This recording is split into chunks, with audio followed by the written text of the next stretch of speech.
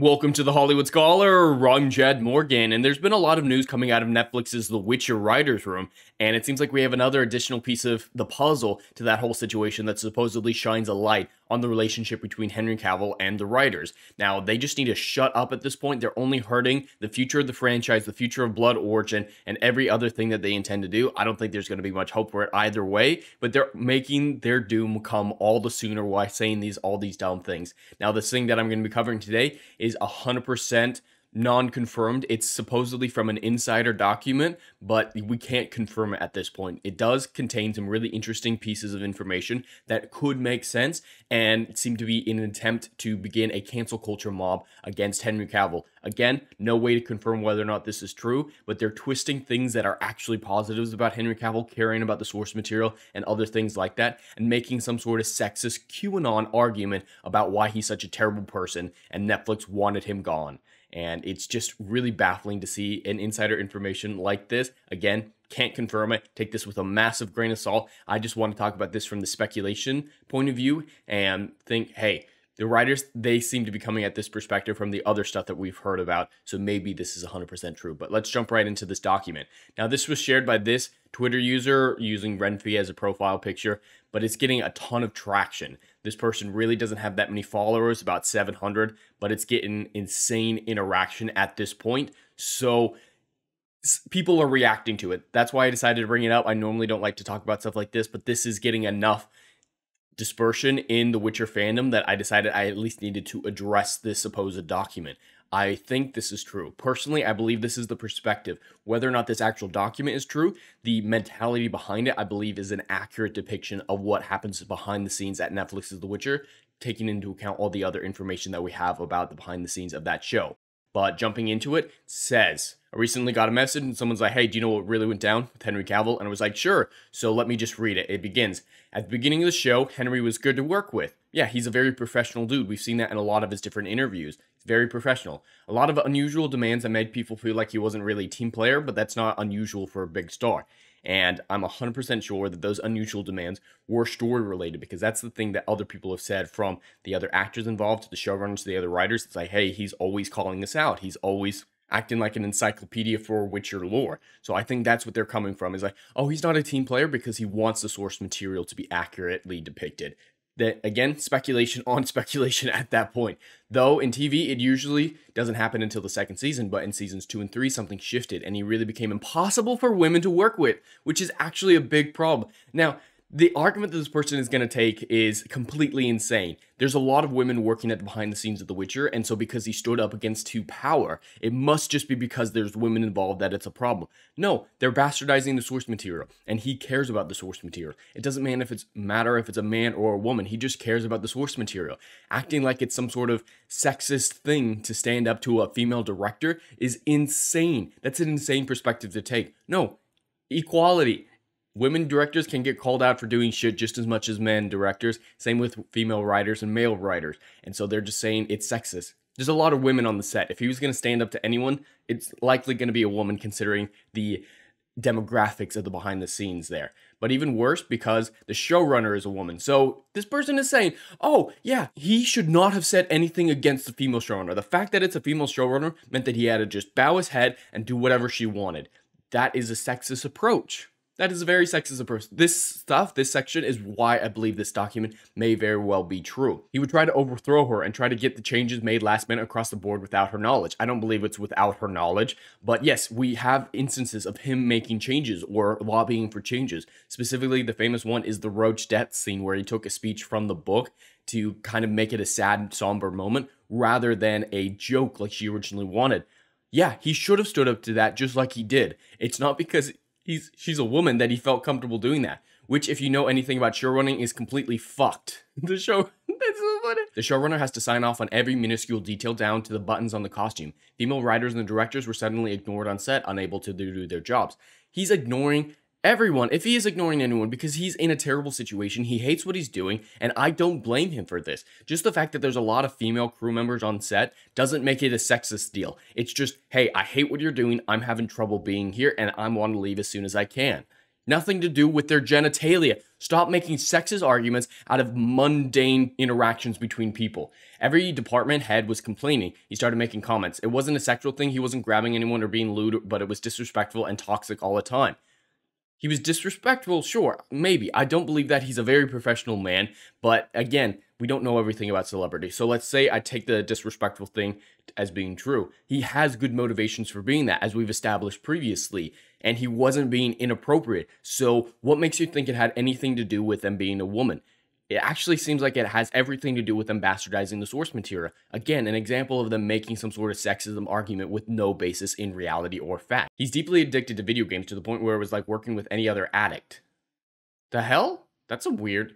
Well, okay. He was distracted. He was late. He was obsessive. And a lot of people think that the misogyny came from the gamer world. Oh, the guy plays video games. And he's like not listening to the showrunner who's bastardizing his favorite franchise. He must be a misogynist from the gamer world. That is outbound and leap in insanity logic. Video game bro language is like how you talk to coworkers and he wouldn't stop. So he, he was being casual with people when he wasn't being professional. I still don't see anything actually wrong with what they're saying that he physically did. Their extrapolations from what these actions mean is insane and I 100% disagree with it, but the actual actions that he made seem completely within reasonable behavior considering everything involved. Someone on the show compared it to watching get brainwashed by QAnon. You're standing up for a franchise you love against a showrunner who's completely bastardizing it, so not only are you a sexist gamer bro, but somehow it's equivalent to being radicalized by QAnon. What is this clown world that this individual lives in? Again, this might be fake. This might be fake, but this is the type of mentality we've seen out of Hollywood time and time again. So it's completely believable that this is true. If it's a fake, it's a very, very good fake. Like his whole personality shifted, even his disrespect escalated. That's just him getting more and more upset with the way that things are running, leading to his eventual departure. So, yes, of course, it's going to escalate because he's seeing the direction the show is going progressively in the wrong direction for the show, for the franchise that he loves so very much. None of this is untoward at all things considered, considering the active mocking of the source material, the active dis- bastardization that these showrunners and these female directors were perpetrating on the Witcher franchise. He would rewrite scenes without even alerting the other actors in the scene until it was time to shoot. I don't believe that at all. He's too professional to do that. But again, we don't know everything about actors unless we see proof of it. I'm not going to believe something that insane out there. He decided he didn't want any romantic scenes at all. No kissing, no shirtless scene, etc. I don't believe that at all because, again, he's very invested in the source material, and the source material is very erotic at times. He knows that. And so, by constantly trying to get more accurate to the source material, more accurate to the video games, he would be asking for more of these scenes, in my opinion. He wanted complete control of the storyline, but really had no idea of the limitations of TV structure, budget, etc.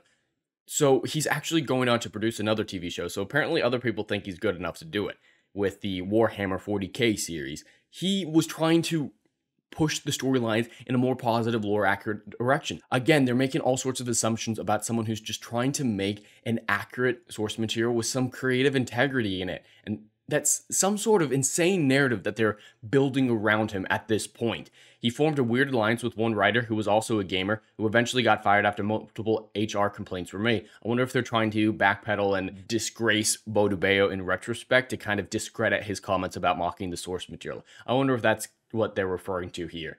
And after that writer left, Henry did anything he could to hold up production and cause problems. Eventually, top brass at Netflix was tired of him costing money with delays in HR investigations.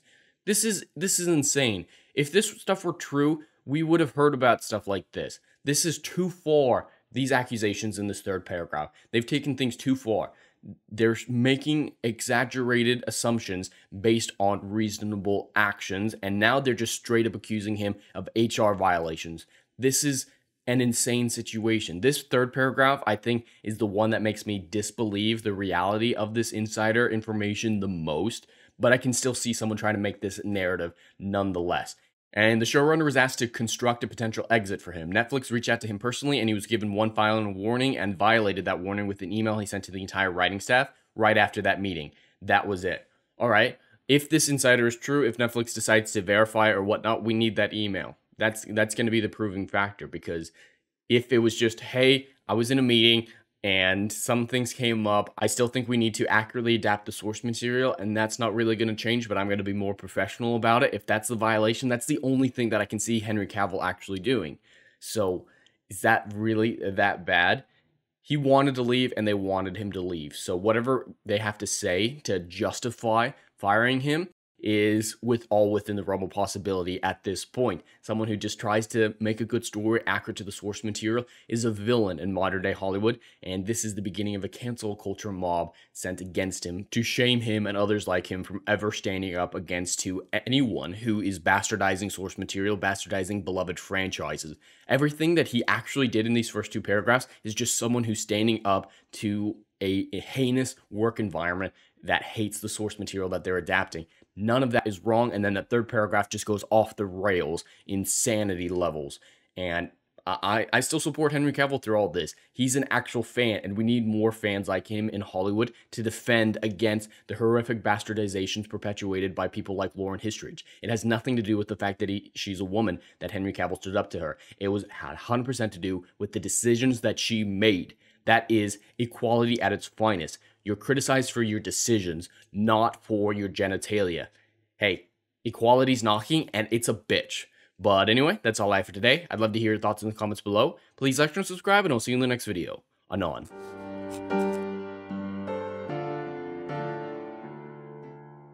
Hey, yo, are you feeling what I'm doing up in here? Oh, I know you are. Do you miss all the good, compelling stories that we used to get back in Hollywood that they ain't putting down no more? Yo, oh, I know you missing it. So check out my book series, Odyssey of a Phoenix, a mythological epic about philosophy, morality, and modern day mental illness issues, baby. Book one, Down in Flames. Book two, Apocalypse Then. These are currently on sale. What are you waiting for? Get your hands on them. And we got book three, Kill the Dark, is coming down the pipeline. Just wait for all the good stuff that's dropping. You ain't gonna be disappointed, fam.